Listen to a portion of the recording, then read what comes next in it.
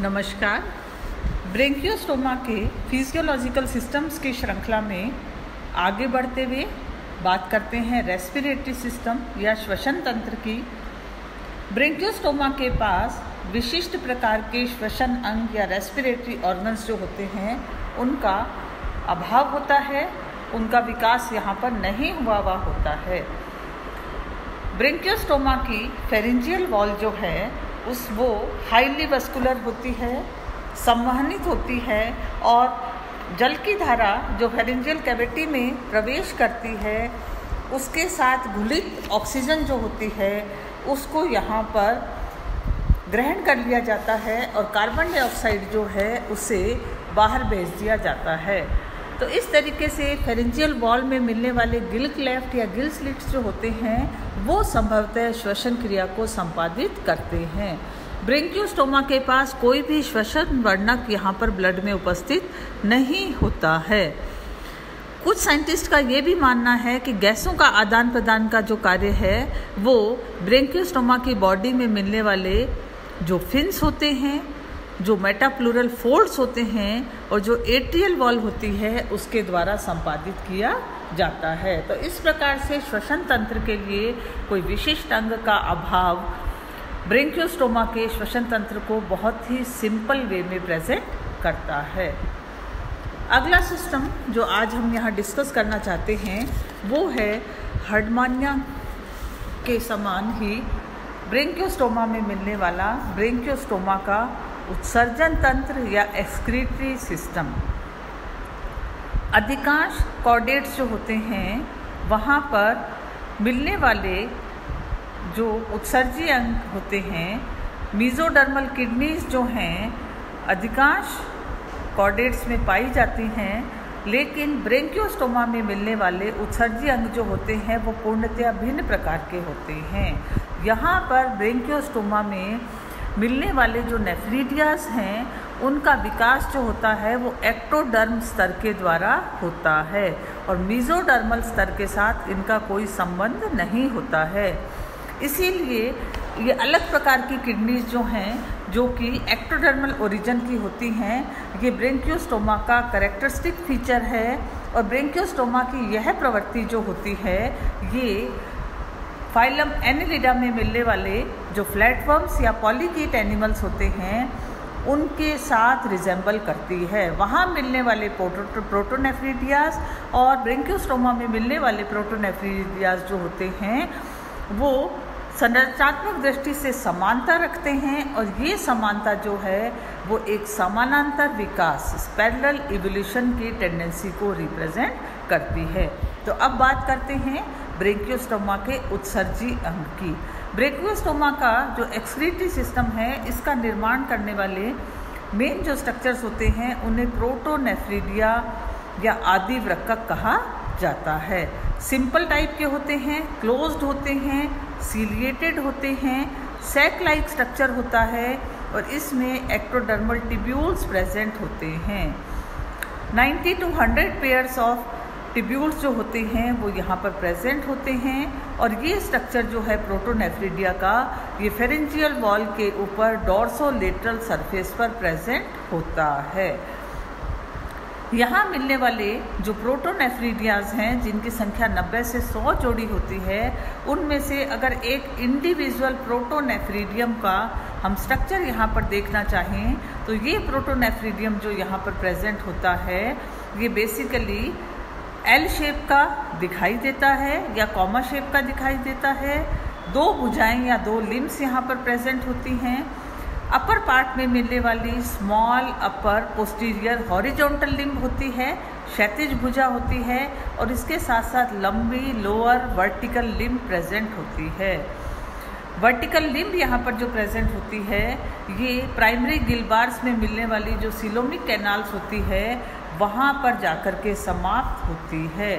Horizontal limb यहाँ पर जो प्रेजेंट होती है, यह एट्रियम में जाकर के खुलती है और वहाँ पर एक छोटा सा सीलिएटेड अपर्चर यहाँ पर नेफ्रीडिया के पास प्रेजेंट होता है, जिसे नेफ्रीडियोपोर कहा जाता है। इस क्षेत्र की सहायता से नेफ्रीडियास जो हैं, ये एट्रियम कैविटी में जाकर के खुलते हैं।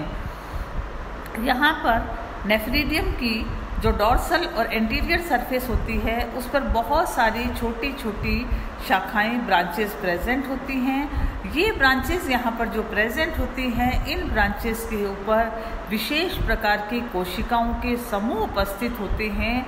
कोशिकाओं के गुलदस्ते की तरह लगे हुए गुच्छे उपस्थित होते हैं और ये सेल्स यहाँ पर जो प्रेजेंट होती हैं, इन सेल्स को फ्लेम सेल्स ज्वाला कोशिकाएँ या सोलेनोसाइट्स कहा जाता है। तो इस तरीके से एक इंडिविजुअल नेफ्रीडियम के पास लगभग 500 की संख्या में सोलेनोसाइट्स प्रेजेंट होती हैं। हर सोलेनोसाइट सेल यहाँ पर जो है, इसकी लंबाई लगभग 50 म्यू होती है और इसके स्ट्रक्चर को अगर हम देखें, एक सोलेनोसाइट या फ्लेम सेल की संरचना को देखें तो यहाँ पर एक राउंडेड न्यूक्लिएटेड सेल बॉडी होती है उसके साथ जुड़ा हुआ एक लंबा, खोखला टिब्यूल या स्टॉक प्रेजेंट होता है। और ये सारे का, सारे स्टॉक जो होते हैं, वो नेफ्रिटियल ब्रांच के अंदर जाकर के खुलते हैं। इसके साथ साथ बेसल बॉडी ऑफ़ सेल से एक फ्लैजलम जो होता है, वो फ्लैजलम भी प्रत्येक ज्वाला कोशिका के पास उपस्थित होता है।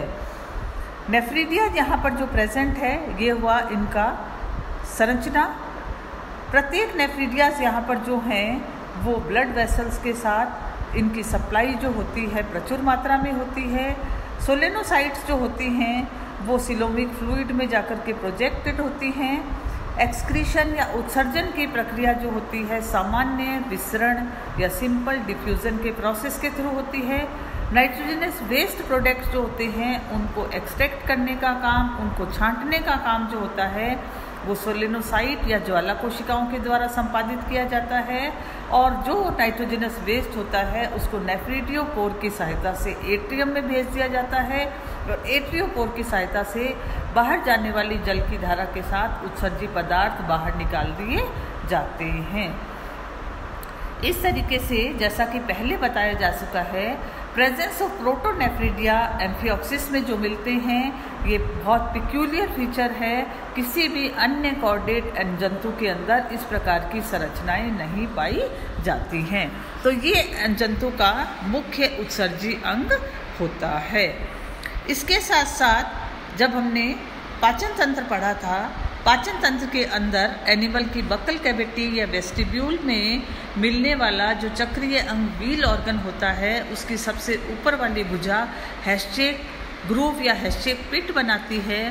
उस हैशेक पिट वाले भाग में भी ऐसा माना जाता है कि आंशिक रूप से उत्सर्जन का कार्य यहाँ पर किया जाता है और इसीलिए हैशेक पिट वाला जो स्ट्रक्चर है, इसको हैशेक नेफ्रीडियम के नाम से भी जाना जाता है। इन संरचनाओं के अतिरिक्त एक ब्राउन फनल्स भी ब्रेंक्योस्टोमा की बॉडी में प्रेजेंट होती हैं। ये पोस्टीरियर एंड ऑफ़ फेरिंग्स में मिलने वाली एक जोड़ी फनल सेक स्ट्रक्चर्स प्रेजेंट होते हैं।